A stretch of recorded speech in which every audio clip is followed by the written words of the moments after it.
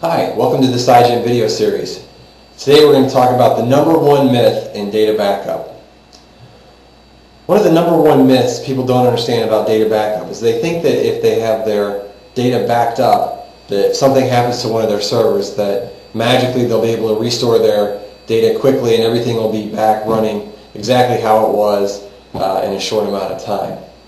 One of the key things people need to understand is the difference between what's called a data level backup and a system level backup or an image or bare metal type backup.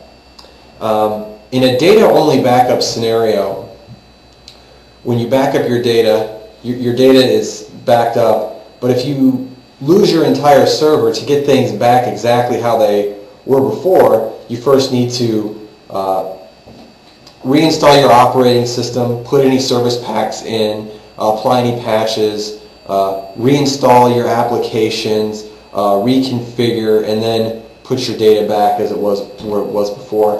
Um, and for business servers, this could be problematic because oftentimes, uh, you know, if it's a specialty application for your line of business, you may have had to have a, a consultant come in and configure your application. So again, you may have to have that person come back out, uh, time consuming, etc. This can often take hours or days, uh, depending on how complex your scenario was. Now, if you have a, a bare metal or an image type backup, what happens is during the backup process, everything is backed up, including the operating system, the application, and it, it's written out exactly how it was on your disk previously.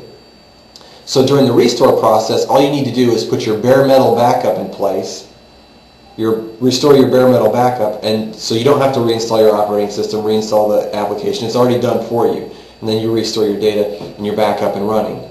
Uh, the only catch with image level or bare metal type backups is there's uh, one important difference between different manufacturers, and that's the ability to restore to different hardware.